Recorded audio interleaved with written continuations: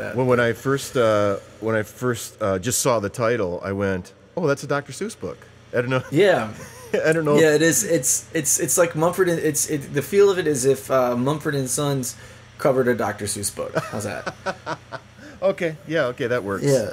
Uh, And so, what what are you what are you trying to say through the lyrics in it? I mean, is it is it that we have we have a journey that we're on and that we're gonna um, yeah, it's it's kind of like a. Um, I wanted to write a song that was emotional, um, but positive at the same time. It's very easy to write an emotional song that's depressing.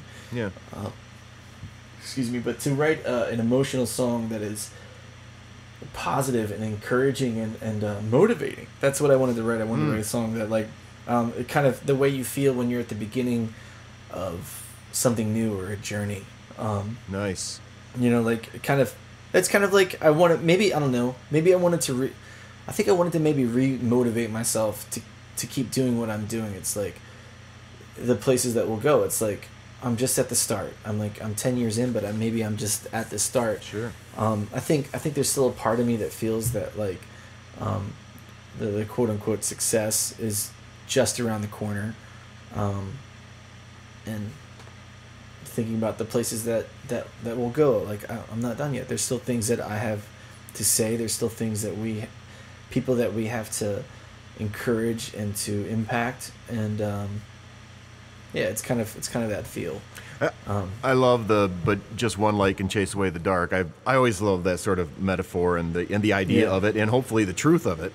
And then Eh, you know, and then you follow it up with so fold the map and follow your heart. I mean, here we are back to following our heart, but but, but there's but there is something about just sort of putting the just just forgetting about all the directives in life and Yeah. and just moving, you know? yeah, It's a beautiful thing. yeah. Thank you, thank you very much. and to be open to it that's what i guess it is it's just being open to it and and being able to embrace what you don't know is out there Yeah, that's just the the point is to not be. I think, I think when people you know like the whole follow your heart thing, it's like yeah, like I said, use use your heart as an engine, but let your brain be the steering wheel. Um, Yeah. Like follow your heart, and and I think I think it's important because I think so many people don't. I think so many people just do what's easy or what's comfortable, and they're too afraid to try something that's different or that their parents might not approve of, or that Right. um, you know they're they're afraid to take a risk. And like, um, I'd say don't don't be don't be afraid to take a risk. Um, I don't know. I can say yeah, that's that's don't be afraid to take a risk, no matter what it is. Yeah, if but- it's just any anything at all, like take risks. Yeah.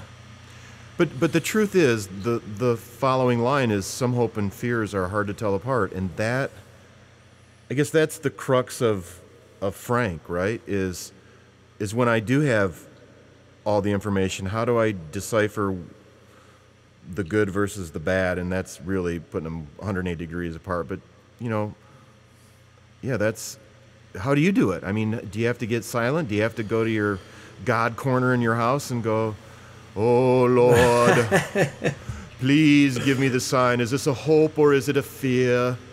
Man, I I wish it was that easy. right I'll tell you the i'll be way. back i'll be back in five minutes honey Yeah. i've just got to figure out if this was a hope or a fear Um, the way I usually tell a hope from a fear is whether or not I'm successful at whatever I'm trying. um, Yeah. You know, it's, it, I don't know. I think that's just, I think that's just kind of like a uh, that line for me was like, so fold the map and follow your heart. Some hopes and fears are hard to tell apart. Like, um, that's that's that is the risk, you know. That is the risk of like some hopes and fears. it, Like, it the thing that you hope for and some of the things that you fear are sometimes the same thing. Um, yeah and and I guess that's that's what makes the risk. Like that's what that's what is the risk is like when it's like you know, you follow your heart, you're diving in, you're taking a risk, and it's like there's a good chance that you're not gonna accomplish what you're trying to accomplish, or that you're gonna, um, it's not gonna work out the way you want it to, or that you know, you the, you're gonna break up. But you know, I think most, I think nine times out of ten, it's always better to try and fail at something than to not try at all and wish you had.